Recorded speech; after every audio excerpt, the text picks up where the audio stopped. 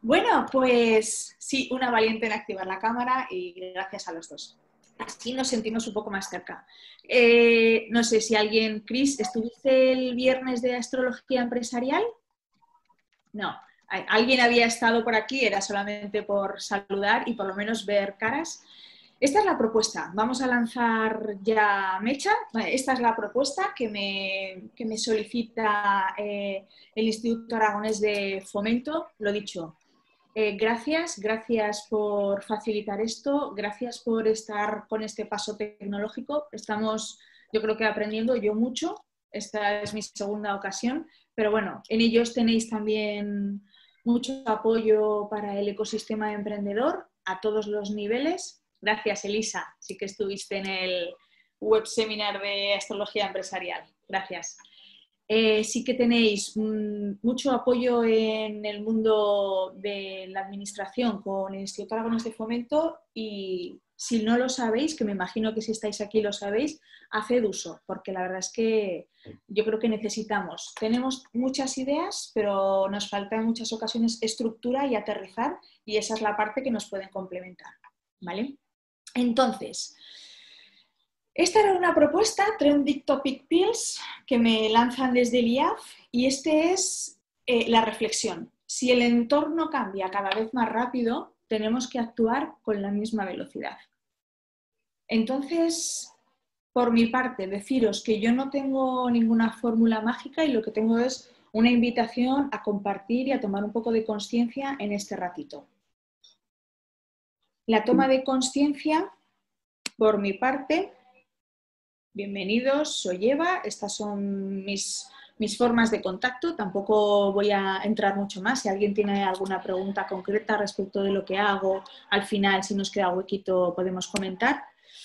Este es el punto en el que yo siento que diría que todavía estoy, ¿no? que es el de, wow, o sea, ha pasado el huracán y el chiringuito, a mí por lo menos, me lo ha trastocado bastante dentro de que ya venía con un punto de evolución, pero me lo ha trastocado bastante.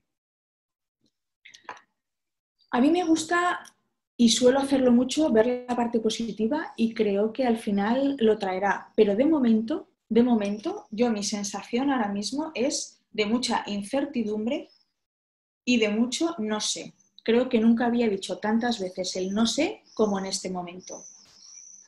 El no sé y la invitación al ahora, ahora, ahora, porque planificar tampoco ahora mismo nos sirve demasiado, por lo menos a mí. Pero ¿qué ocurre? Que yo mi sensación es que esto choca frontalmente con mi necesidad de control y mi necesidad de seguridad, que son falsas ilusiones porque si nos retrotraemos a aquel 14 de marzo, o sea, en cero coma, nuestro momento cambia. Entonces, yo las reflexiones que tengo para compartiros hoy son básicamente estas cuatro. Ya os digo que no tengo ninguna fórmula, pero tengo sí que unas reflexiones para compartir y ya que estamos en Petit Comité, pues podemos aprovechar para aportar lo que consideréis, sugerencias, conformidades, disconformidades, otras cuestiones. Mis cuatro propuestas de hoy son, volvamos a lo esencial. Dos, volvamos al enfoque cliente, seguramente no lo hemos perdido nunca, pero volvamos otra vez a ese trabajo. Tres, analicemos un poco el síndrome del impostor y qué es lo que se puede esconder ahí detrás. Y cuatro, gestionemos el miedo o la incertidumbre buscando qué información positiva tiene para mí, como si me estuviese tomando un café y le quisiera estar explorando qué es lo que, de qué se supone que me estás protegiendo. ¿vale? Entonces, esta es la agenda, esta es la propuesta, así que arrancamos con lo primero. Mirad, mi sensación es la siguiente. Es posible que estemos cambiando el cómo hacemos las cosas. Yo nunca había hecho una formación online, nunca me había planteado digitalizar mi empresa de la forma que me lo estoy planteando ahora es posible que esa parte de cómo hacemos lo que hacemos esté trastocándose, pero creo que nuestro asidero tiene que ser el por qué hacemos lo que hacemos. esa parte de conexión muy esencial. Y en este sentido, yo la propuesta que os hago, voy a ver si todo va bien y podemos compartir estos, no llega a cinco minutos de vídeo. Si alguien lo ha visto, pues lo siento porque no voy a descubrir ninguna herramienta nueva. Si alguien no lo ha visto, pues puede que le aporte algo, pero a mí, incluso habiéndolo visto muchas veces, me sigue aportando. Y es el vídeo de Simon Sinek de El Círculo Dorado. Más unos ceros. ¿Alguien conoce esta herramienta del por qué? Más uno si la conocemos, cero si no la conocemos. En el chat podemos ponerlo y así veo un poco cómo estamos. Concha la conoce, Nuria también, Elisa no, Esmeralda, Bárbara tampoco, ¿vale? Juan tampoco, José Ángel, hola José Ángel, Joaquín, ok. Bueno, tenemos 50-50. Yo creo que las herramientas son las que son y a veces vienen una y otra vez y no sé a vosotros, pero a mí mm, el darle vuelta a un libro, el dar la vuelta a una charla, el volver a ver un vídeo, en muchas ocasiones me sigue aportando cosas interesantes. Entonces, él lo explica mucho mejor que yo. Vamos a ver estos 4 minutos 25, creo que son, y luego comentamos si queréis, ¿vale? Voy a ver si va bien con esto y lanzamos. how do you explain when things don't go as we assume? Or better, how do you explain when others are able to achieve things that seem to defy all of the assumptions? For example, why is Apple so innovative? Year after year after year after year, they're more innovative than all their competition. And yet they're just a computer company. They're just like everyone else. They have the same access to the same talent, the same agencies, the same consultants, the same media, then why is it that they seem to have something different? Why is it that Martin Luther King led the civil rights movement? He wasn't the only man who suffered in a pre civil rights America, and he certainly wasn't the only great orator of the day. Why him? And why is it that the Wright brothers were able to figure out controlled powered man flight when there were certainly other teams who were better qualified, better funded, and they didn't achieve powered man flight, and the Wright brothers beat them to it. There's something else at play here. About three and a half years ago, I made a discovery.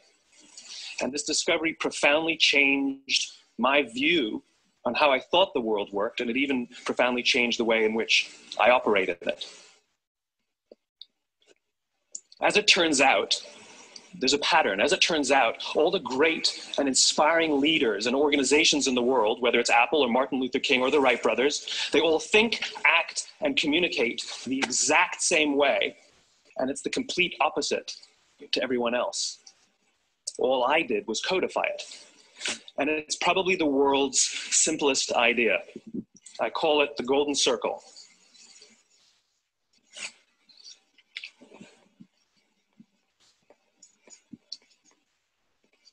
Why, how, what?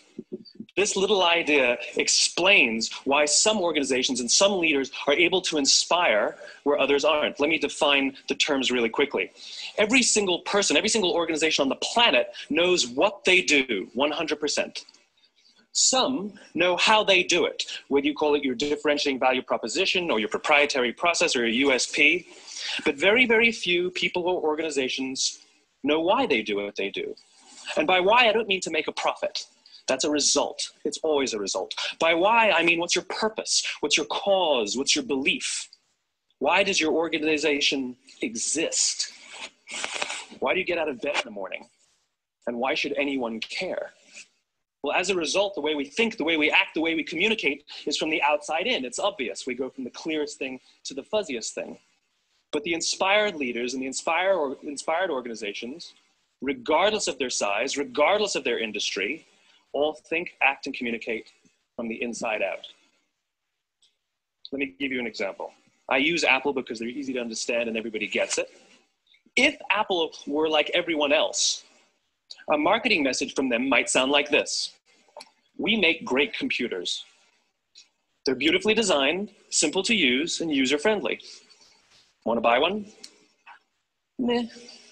And that's how most of us communicate. That's how most marketing is done. That's how most sales is done. And that's how most of us communicate interpersonally. We say what we do, we say how we're different or how we better, and we expect some sort of behavior, a purchase, a vote, something like that. Here's our new law firm. Uh, we have the best lawyers with the biggest clients. We have, you know, we always perform for our clients, do business with us. Here's our new car. It gets great gas mileage. It has, you know, leather seats. Buy our car. But it's uninspiring. Here's how Apple actually communicates everything we do, we believe in challenging the status quo. We believe in thinking differently. The way we challenge the status quo is by making our products beautifully designed, simple to use, and user friendly. We just happen to make great computers. Want to buy one? Totally different, right? You ready to buy a computer from me? All I did was reverse the order of the information. What it proves to us is that people don't buy what you do, people buy why you do it. People don't buy what you do, they buy why you do it. Vale, hasta aquí. Eh, mirad, la propuesta de dar un, alguna píldora, que es la Trending Topic Pills, alguna píldora al tema de si el entorno cambia cada vez más rápido, tenemos que actuar con la misma velocidad, para mí parte de la idea de tener que volver a mirar hacia uno mismo y ser consciente de cuál es el mensaje diferenciador que tiene para ofrecer al resto. Porque, en mi opinión, solamente así encontraremos, o yo por lo menos encuentro, algo a donde asirme con todo este tormentón que nos ha venido y toda esta marejada que está haciendo que nuestro barco, a los que estuvieron el otro día en el seminario de la astrología empresarial, entenderán el símil, que este barco se esté tambaleando. Porque es verdad que el mundo está cambiando a lo mejor en la manera de cómo tenemos que proceder, pero no está cambiando en cuanto a la esencia de lo que tenemos que dar. Entonces, ese ejercicio de introspección, para mí, cada uno de nosotros como personas venimos aquí con una misión o por lo menos con unas capacidades para poner al servicio y cuando lo vehiculizamos a través de una empresa tenemos que conectar con lo que ella está aportando al mundo de una manera diferente. Porque si no, y ya lo he dicho en otras formaciones seguramente lo dije también el viernes pasado, entraremos al mercado a competir por precio y ahí nos podemos dar por y puntos suspensivos. ¿vale? Entonces, conectar con el por qué hacemos lo que hacemos podría ser una cuestión a tener en cuenta, aquí lanzo propuestas, a tener en cuenta si en este momento estamos con la sensación de zozobra, que yo no sé vosotros, pero que yo tengo, porque es conectar con el sentido de nuestra vida, que a lo mejor no todo el mundo lo tiene a través del trabajo, pero que cuando encuentras que tiene sentido hacer lo que haces, Gracias Juan por la aportación. Es fácil levantarse por la mañana sabiendo el por qué. O sea, al final, una vida con propósito es tener propósito en tu vida. Entonces, no estamos on fire todo el tiempo, no estamos a full, no estamos hiperconectados y súper enchufados, pero sí que cuando las cosas se están tambaleando, al final, como dice aquella frase, invierte en aquello que arrebatar. Te podrás quedar, y muchos podemos haber sentido ahora la ola, el tsunami este que ha arrastrado circunstancias, clientes, estabilidad económica, proyectos, ideas, futuro, pero lo que yo tengo esencialmente para compartir al resto es algo que una circunstancia exterior no me va a poder arrebatar. Y quizás sería un punto para volver a conectar.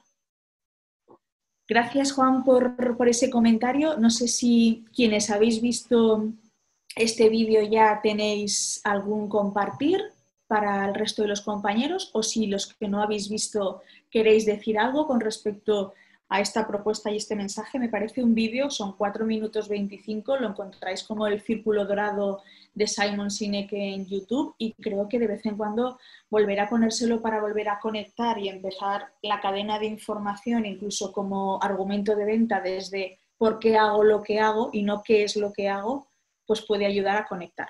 ¿Alguien le apetecería compartir algo con esto? Así como rápidamente. Si no hay movimiento no pasa nada y sigo adelante. ¿Vale? Entonces, Bueno, si no sobre la marcha, ya sabéis, a mí me gusta, yo esto en el formato online me cuesta, en el formato de tú a tú, si alguien ha estado conmigo en alguna formación de tú a tú, es que no doy opción ni siquiera a, que la gente dude en preguntar, porque directamente pregunto yo, porque además creo que, bueno, no lo he dicho esta vez, pero lo digo ahora, no tengo nada nuevo que aportar tenemos simplemente reflexiones que compartir y entre todos las hacemos mucho más grandes, ¿no? Gracias, Bea. Si tenemos metas en la vida, las circunstancias nos desestabilizan solo temporalmente. Exacto, es un vídeo claro, inspirador. Considero que para los que nuestro trabajo es nuestra pasión, tenemos que tener claro el por qué. Sí, porque a veces simplemente las cosas se ponen un poquito complicadas y es una forma de volver a otra vez a conectar con lo esencial. Porque mira, yo por ejemplo cuando compartí que iba a impartir esta formación. Sí, Cris, habrá, forma, habrá posibilidad. Luego, luego al final me lo anoto y lo comentamos, lo de la astrología empresarial. Eh, cuando, cuando compartí esta formación en las redes, pues la verdad es que a mí la imagen que me vino como para poder decir que esto lo iba a hacer es esa típica imagen de espiral que realmente te marea un montón. Y yo es la sensación que tengo ahora, ¿no? De estar en medio de una espiral que marea un montón y lo único que yo puedo hacer para evitar desestabilizar es enfocar al centro.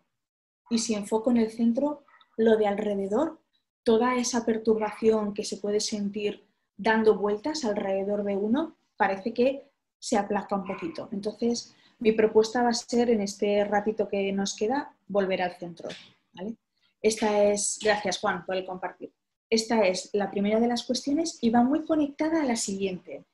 Porque claro, si yo realmente conecto con por qué hago lo que hago, puedo tener más facilidad de cambiar el cómo hago lo que hago. ¿Me explico? Si vuelvo a conectar con el por qué hago lo que hago, puedo tener más facilidad para cambiar el cómo hago lo que hago a mí me gusta mucho compartir. Me gusta mucho compartir lo que para mí ha ido bien vía estas formaciones. ¿no? Mi propósito es compartir.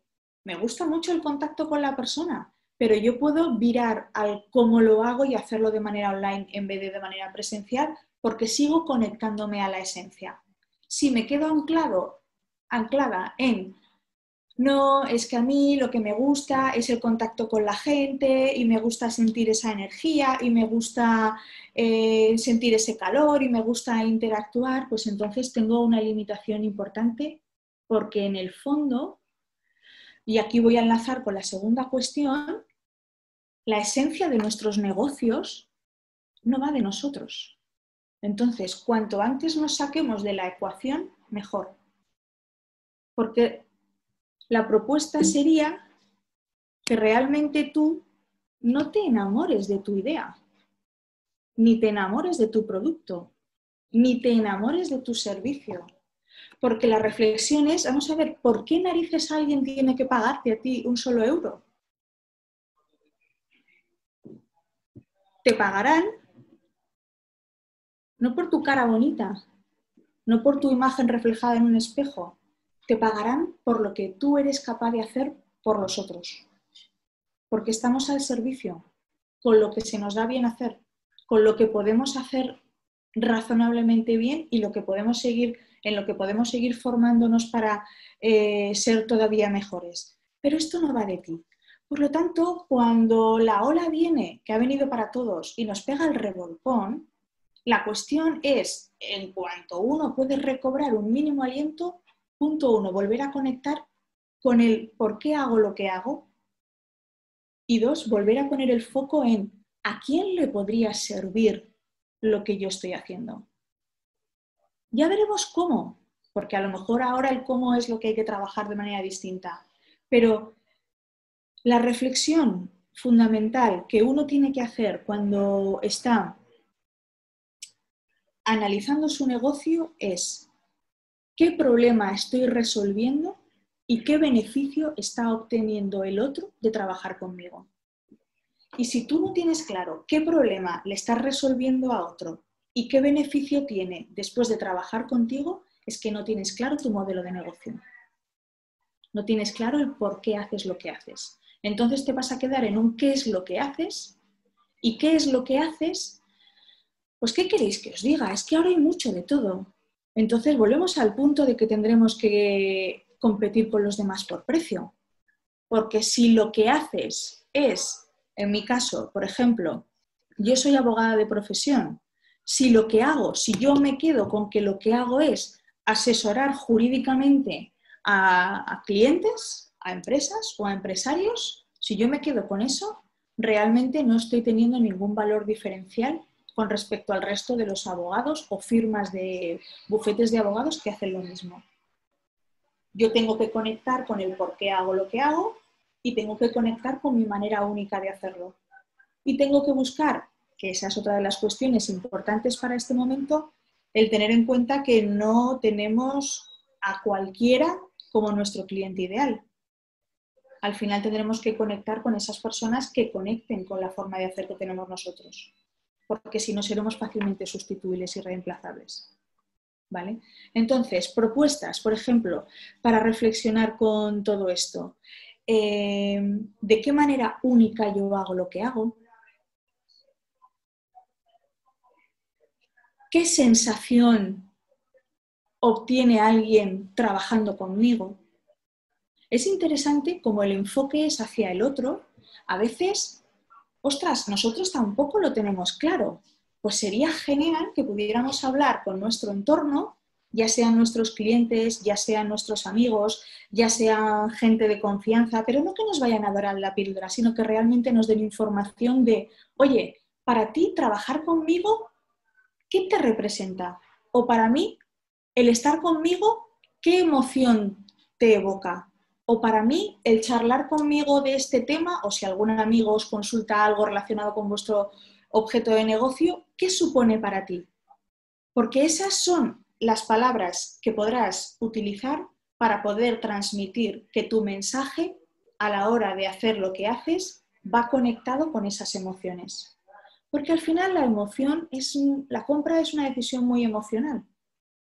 Y entonces, salvo que nos dé igual, porque sea por precio, y nos dé igual esta taza, que si la encuentro en, un, en una tienda por un euro, mejor que si la encuentro por un euro y medio, si queremos tener un punto de diferenciación, tendremos que tener muy claro qué es lo que estamos evocando en el otro, cuando el otro trabaja conmigo. Entonces, vuelvo otra vez a que el entorno ciertamente está muy cambiante, ciertamente está muy movido, pero para mí está muy cambiante y muy movido, ojo, en el cómo hago lo que hago, ¿eh? pero no en el qué hago. Entonces, si a lo mejor ahora incluso tenemos un momento de mm, un poco más de relax eh, de trabajo o un poco menos de carga de trabajo, quizá es ocasión de replantearnos qué es lo que está pasando con nuestro negocio. ¿Vale? Comentarios, propuestas, sugerencias, palabras de cómo vamos? ¿Alguien quiere compartir? El propósito es más importante que una meta o un objetivo, es lo que tú sabes que sientes que hacer. Completamente de acuerdo. Al final puedes cambiar de forma y de vehículo, pero esencialmente lo tienes claro. Y es lo que en algún momento de tormenta pues te puede dar ese, ese punto. Es como, es como una es como un faro en tu vida. Entonces, imaginaos que estamos en plena navegación, que nos ha cogido un tormentón tremendísimo y que realmente no sabemos muy bien cómo nos encontramos. Pero en algún punto tú vas viendo esa luz al fondo y dices, vale, sé que tengo que ir por allí, aunque a lo mejor me haya perdido y he dado tres vueltas. ¿vale? Os dejaré después, de alguna manera lo pongo, si no en los comentarios del, del vídeo, alguna historia, porque hay un un profesional del marketing digital que quizá algunos conozcan, se llama Claudio Ignacio y la verdad es que tiene un artículo que me parece súper bueno para poder definir la propuesta de valor y se titula así.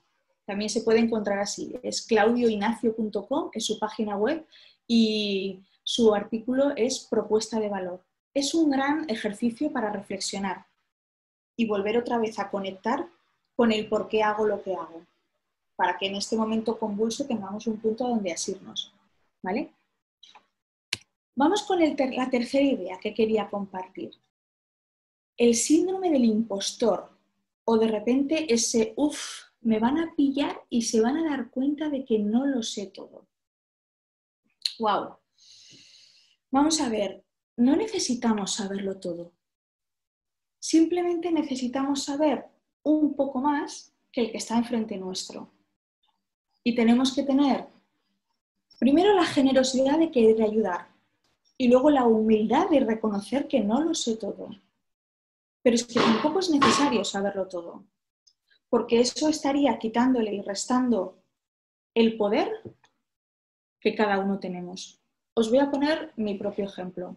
Yo en mi trayectoria profesional como abogada, la verdad es que he tenido una evolución importante, porque en los comienzos de mi, en los comienzos de mi carrera, pues la verdad es que actuaba como el típico abogado o como lo que se puede esperar de un abogado, el de no te preocupes, déjamelo a mí, yo me ocupo de todo, porque eso creía que me daba una falsa sensación como de poder o de mm, más presencia o de más, o ser más necesitada en este momento actual de mi vida, mi aportación es, sobre todo, darle tranquilidad a mis clientes en lo que yo puedo saber, pero sin tener la pretensión de saberlo todo, porque para empezar, yo no quiero eclipsar ni minimizar la responsabilidad que tiene cada uno. Entonces, al final, se trata de sentirnos que tenemos algo para compartir y que somos una pieza que puede engranar en el negocio del otro, sin más pretensión. Porque, ¿qué ocurre? Ocurre lo siguiente. Dentro de nosotros hay muchísimo conocimiento, dentro de nosotros hay muchísimas cosas para aportar, pero si tienes ese síndrome del impostor activado en modo mega crítico, porque un puntito de síndrome del impostor no está mal, porque al final lo que te incita es a querer seguir formándote, a querer seguir aprendiendo, a ser responsable con lo que haces, pero si, le, si no le bajamos el volumen a ese crítico y se lo dejamos con el tono alto de no es suficiente, te quedan todavía 83 cursos por hacer, 15.300 libros por leer, todas esas cuestiones que repasar, esos apuntes de aquel curso o aquel máster, nos vamos a quedar paralizados por exceso de miedo y no vamos a poder contribuir a lo que tenemos que contribuir en la vida de los otros. Además, el momento en el que uno empieza a ponerse en marcha es el momento en el que empieza a sentir la seguridad de que lo que está haciendo tiene sentido.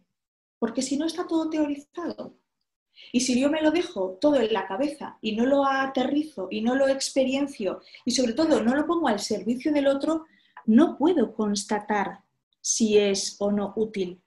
Para mí el concepto de utilidad de lo que hago es muy importante. Entonces, estamos en parálisis por análisis y lo que sucede, vuelvo al punto de que como el entorno es cambiante, el cómo está constantemente cambiando, y ahora sí que nos vamos a dar cuenta de que realmente cuando ya se ha desestabilizado nuestra estructura anterior y nos hemos encontrado con este nuevo escenario, tenemos que ser bastante más proclives al cambio de lo que solíamos serlo, pues resulta que yo con un síndrome del impostor alto me estoy preparando y preparando y preparando y preparando y para cuando me creo un poquito preparada para salir al ruedo, resulta que el chiringuito es completamente distinto. Pues tío, o sea, date por fastidiado.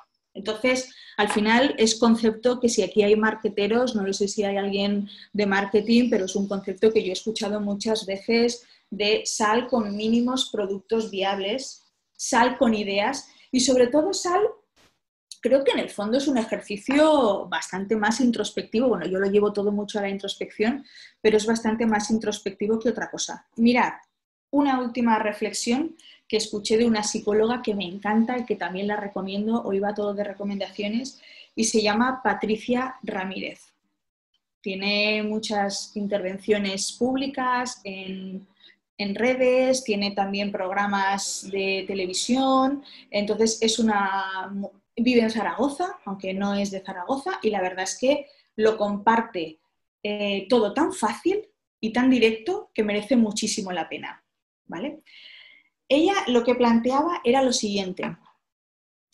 Este síndrome del impostor, lo que, en lo que te engaña es en que al final, no sé en qué momento de la vida compramos que esta vida hay que transitarla con sufrimiento y que tenemos que andar fustigándonos y que todo lo conseguirás con el sudor de tu frente y que todo va a ser un camino de espinas y que, a ver, perdón, o sea, se acabó, punto final, que no venimos a sufrir, o sea, no sé cuándo hemos comprado esa parte, que no venimos a sufrir. Entonces, ¿qué pasa? Que si tú conectas con lo que se te da realmente bien, con lo que te apasiona, resulta que como te sale fácil, uno puede tener la sensación de, hostia, esto, esto me sale muy fácil, para mí que no sé lo suficiente. Y entonces empezamos a cubrir necesidades que son falsas con formación, otras personas de relevancia, otros que ya lo están haciendo, otros que... Mm, ¿Me seguís esa parte? Que yo creo que, que ahí yo por lo menos la he mucho que no se trata de sufrir y que se trata de conectar con lo que te resulta fácil y que a la vez, como te resulta fácil y te apasiona, lo pongas al servicio del otro y punto. Y hasta donde llegues y punto. Y bueno, ya esto es como de súper de nota, ¿eh? Yo estoy en ello. Pero atreverte a decir no lo sé. ¿Cómo os quedáis? ¿Eh? ¿Cómo os quedáis? Porque atreverte a decir no lo sé, simplemente poner la pausa y poder mirarlo más tarde. Yo, por ejemplo, ¿no? Hablo de mí porque, claro, es la única que conozco, no conozco vuestras vidas, pero eso ha sido para mí tremendo. Por al final, todo el peliculón que uno se hace de lo que crees que realmente está pensando el otro. ¿Y el otro qué piensa? Pues si seguramente no está pensando en nada. O al revés, está pensando, oye, qué bien, ¿no? ¿Qué interés se va a tomar por mi asunto? ¿O qué pensaría yo si otro profesional me lo hiciera? Oye, mira, Eva, esto que me estás consultando ahora mismo no lo sé, pero yo me voy a ocupar de estudiar este asunto y te daré una respuesta dentro de tanto. Y yo me voy diciendo, toma ya, qué bien, o sea, qué atención se toma por mi asunto.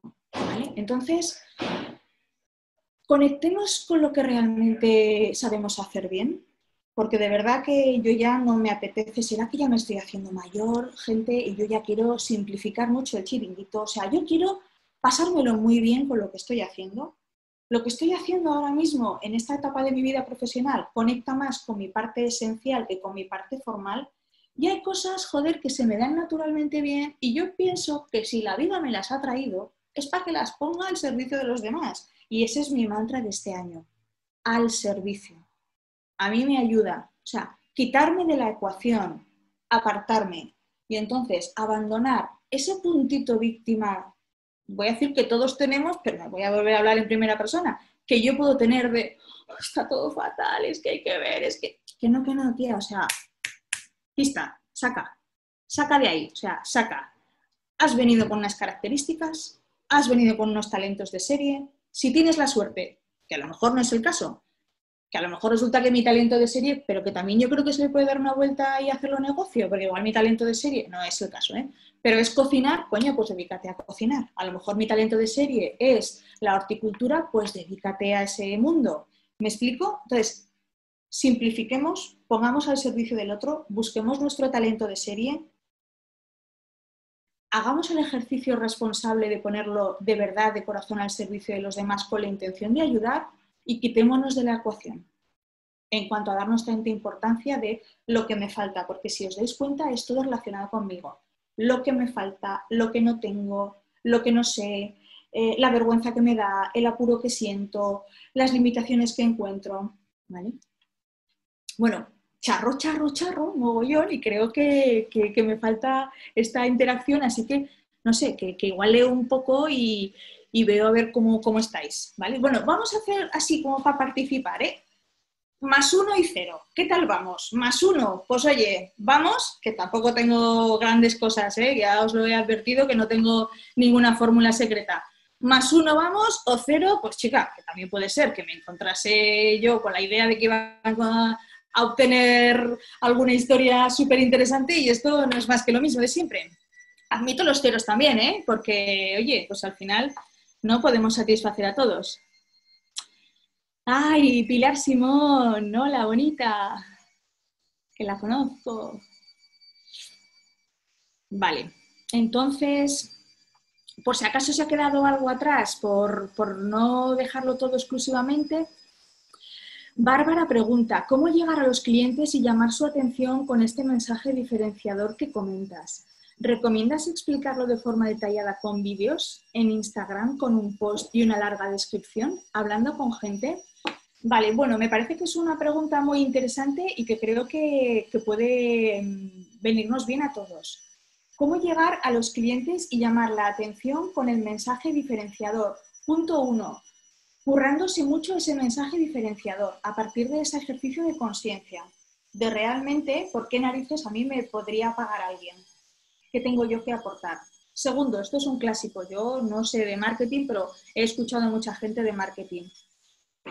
Que se condense en una frase. Porque recordáis la famosa historia de el momento del ascensor, es decir, que nunca sabemos en qué momento nos podemos encontrar con alguien al que le resulte útil lo que nosotros podemos hacer, a esa persona o a alguien de su entorno. Entonces, imaginemos que tenemos esa conversación de ascensor que pueden ser 30 segundos. Soy muy pesada con este tema, pero voy a volver a lo mismo. A ver, tío, tía, que es que lo importante no eres tú.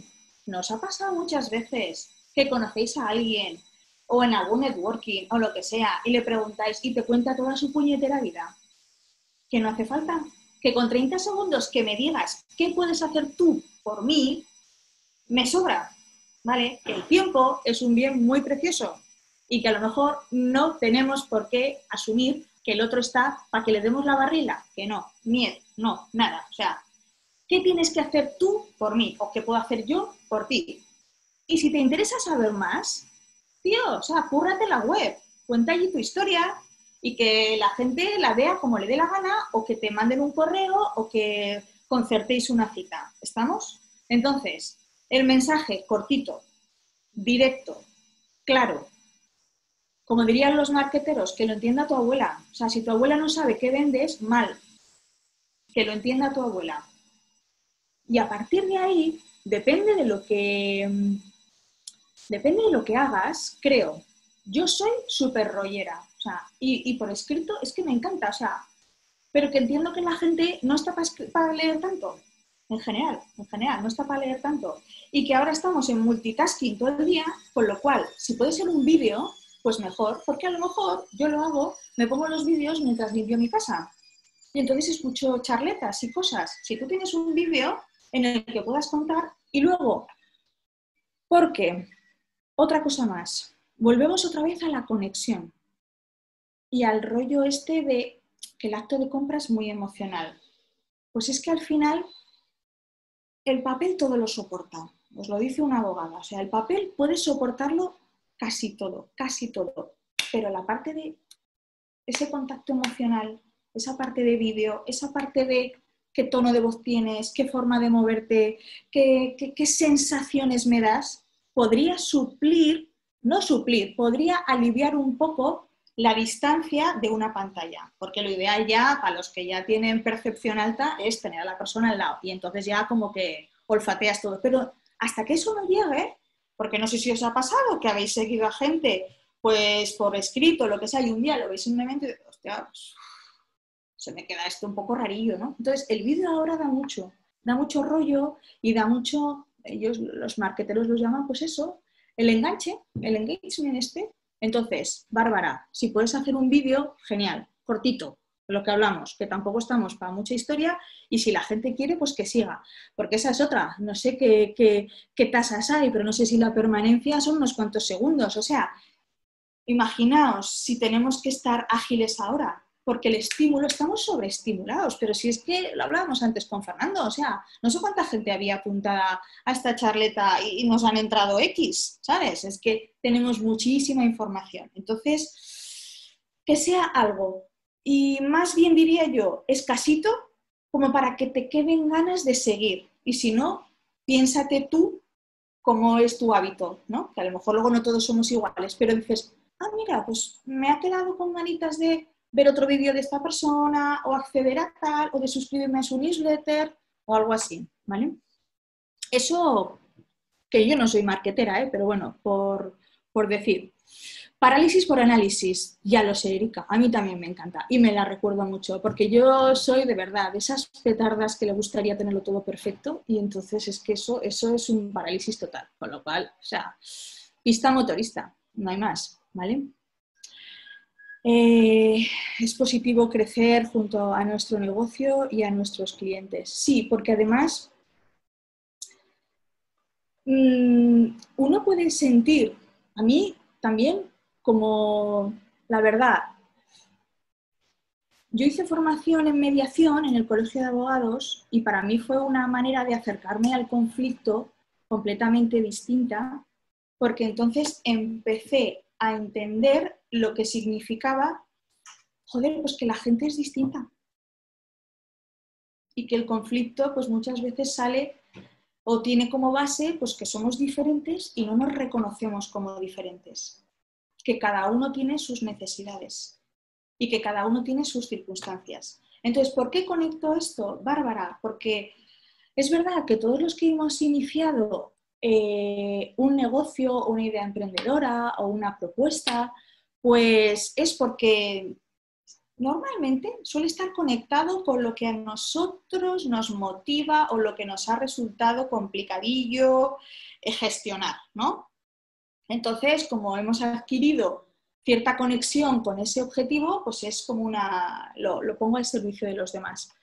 Pero, claro, es tu filtro, son tus zapatos, es tu historia y es tu vida. Y entonces, desde esa, a mí me ha ido genial, o sea, súper, súper, súper, me creo que le va a ir bien a todo el mundo. Que no, que no, y aquí viene el problema que luego estamos tan sumamente enamorados de nuestra idea que no nos atrevemos a pivotarla y a variarla. Entonces, de verdad que quitarse de la ecuación es importante.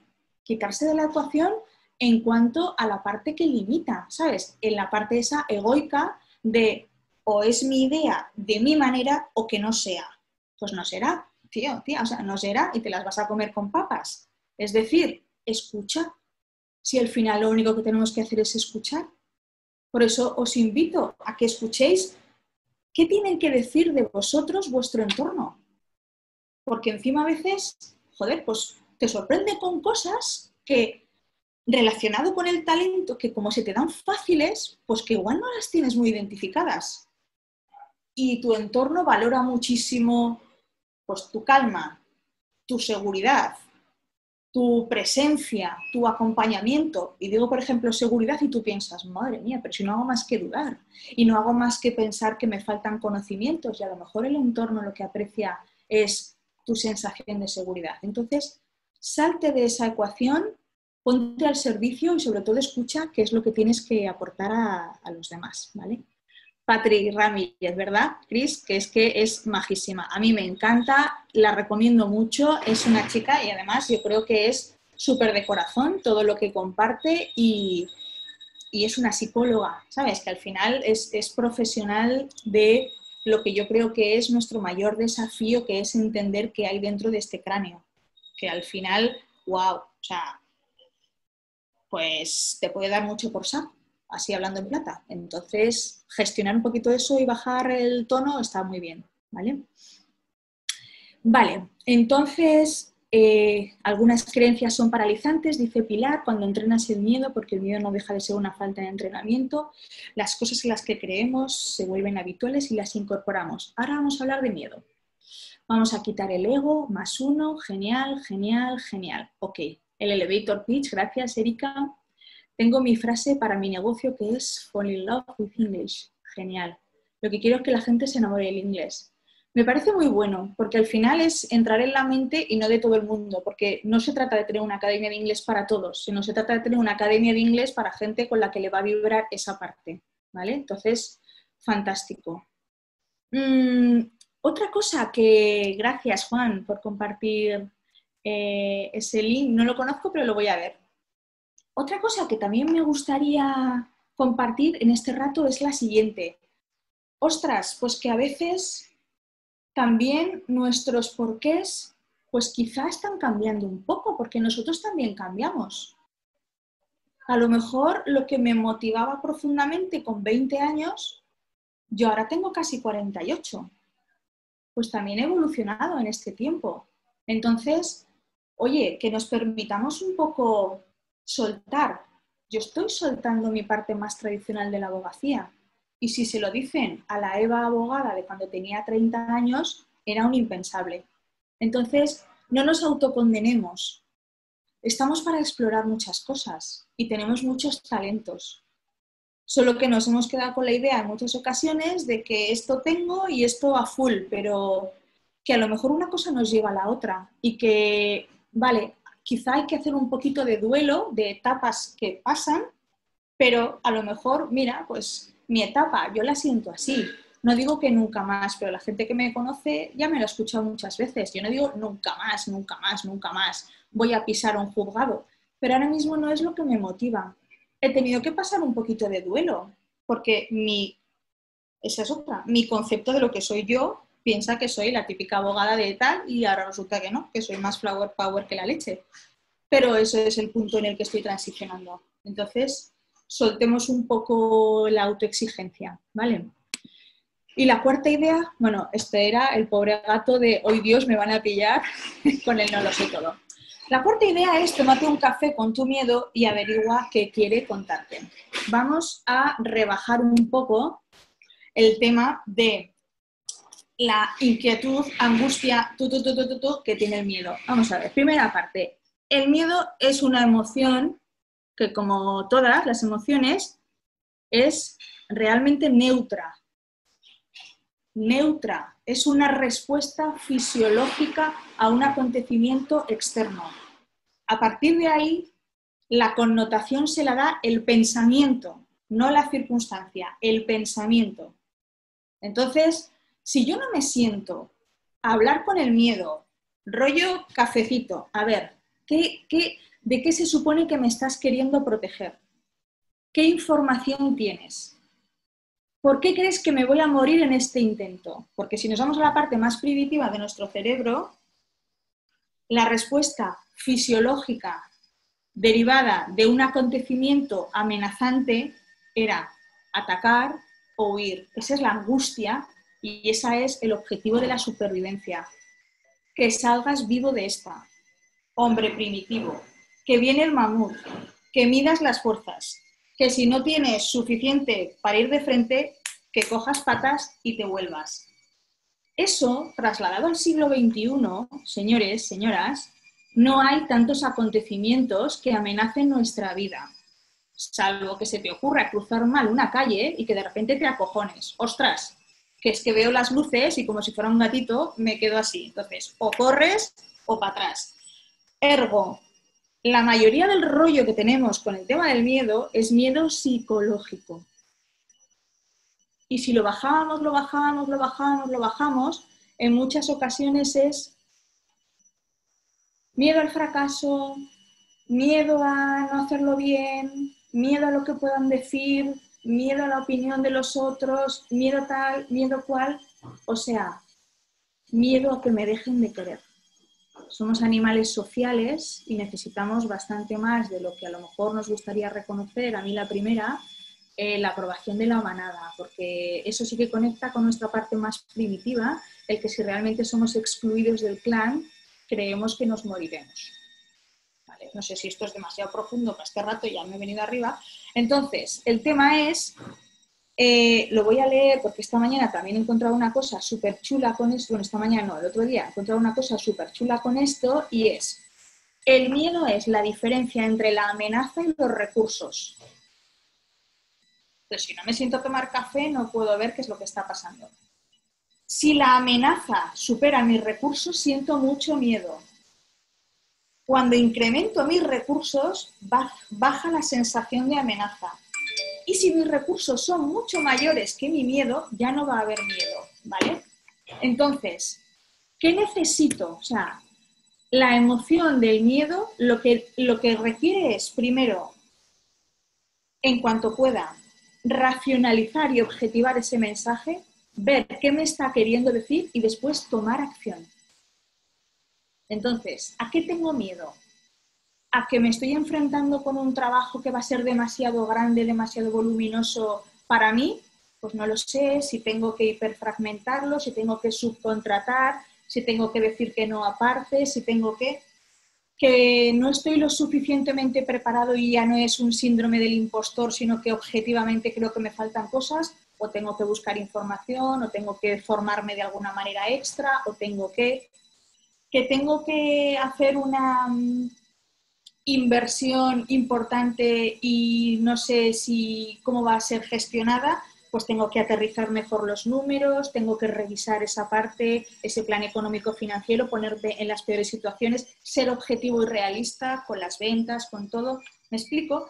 La cuestión es no sentir el parálisis, la parálisis por el miedo, porque entonces el miedo no desaparece. Porque volvemos a la, frase, el miedo es la diferencia entre la amenaza y los recursos. Luego, si yo no aumento los recursos, mi miedo no va a bajar y cuanto más aumente los recursos, menos sensación de miedo tendré y lo mejor de todo es que al final estos recursos, a ver si hablamos de pasta, pues es pasta, ¿no? Se nos puede acabar y ya está. Pero cuando son recursos emocionales, luego se te quedan dentro de tu bagaje y para las siguientes ocasiones, no te digo que vayas en rollo kamikaze, ¿no? De ahora me la sopla todo, pero sí que, ostras, pues al final el cerebro ya no tiene la primera, la sensación de el primer cliente gordo, la primera circunstancia nueva, la, primera charla. Yo no es que estuviera muerta de miedo, pero eh, en la anterior charla pues tenía más inquietud que en esta. Era la primera vez. ¿Me explico? Entonces, al final, esa es la, información. Eh, es una cuestión de, de verdad de objetivar y de racionalizar. Sobre todo el miedo invita a la racionalización y a la toma de acción. Bueno, y ya me he enrollado, ya son las 12.02, me gustaría pues si algún momentico y eso para, para charlar, ahora revisaré.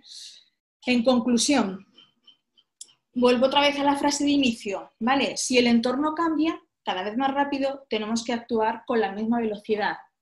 Sí, pero con el matiz de que no se trata de hacer más cosas rápidamente, sino a lo mejor actuar con la misma velocidad en el sentido de reflexionar y volver a mi esencia para ver qué acciones llevo a cabo, ¿vale? Entonces, primera pildorita, eh, para mí, ¿eh? desde mi compartir, no te marees con ese movimiento exterior y foco en el centro, porque a lo mejor cambiamos el cómo, pero no cambiamos el por qué, porque esa es la parte esencial a la que nos vamos a poder asir, ¿vale? Segunda pildorita, el otro es lo importante, o sea, tú no eres lo importante, tú eres el que haces que para otro tú seas importante. Entonces, piensa mil veces qué solucionas a otro y por qué narices iba a pagarte.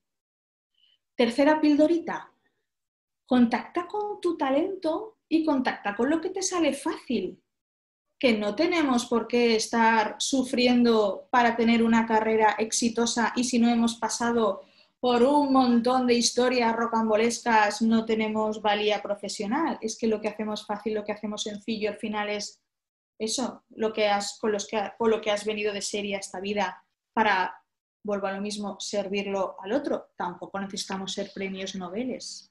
Con saber un punto más que el otro y ponerlo a su disposición suficiente. Y cuarta pildorita, recaba la información que tu miedo tenga que darte, ¿no? Porque al final es qué recursos tienes que incrementar para, para aminorar esa sensación de amenaza. Y pongo entre paréntesis. Y de paso confirma, ¿de verdad que son ciertas esas amenazas? ¿De verdad que te falta lo que crees que te falta? ¿O de verdad que pasaría lo que crees que va a pasar? Es decir, imagínate, oye, que emprendes algo, que inicias algo, que montas algo, que abres algo, que no te va bien, que lo cierras, que tal, que vale, bien. ¿De verdad que la manada te va a expulsar? pregúntaselo, no sé, a tu pareja, a tus amigos, a tu familia. Oye, mira, que voy a contar esto, ¿eh? Y si mañana lo cierro, oye, tú no vas a dejar de hablar, ¿eh? Vas a dejar de ser mi amigo, mamá, papá, yo qué sé, al churri. Oye, si tú mañana me dejas, la relación se acabará, ¿te pareceré una fracasada de la vida y me vas a dejar de hablar? Porque seguramente no va a pasar nada de eso. ¿Vale? Entonces a veces es esa sensación que luego, bueno, pues no está soportada. Por eso hay que echarle ese cafecito al miedo. ¿vale? ese es el resumen. Estas son, bueno, pues el momentito de preguntas o de compartires. Erika, ser conscientes de nuestra amígdala donde reside la parte primitiva. Mira, una recomendación, pensar rápido, pensar despacio. Muchas gracias, Erika, de Daniel Kahneman. Yo no lo conozco, genial. Eh, sí, amígdala, vale. Bueno, pues hasta ahí.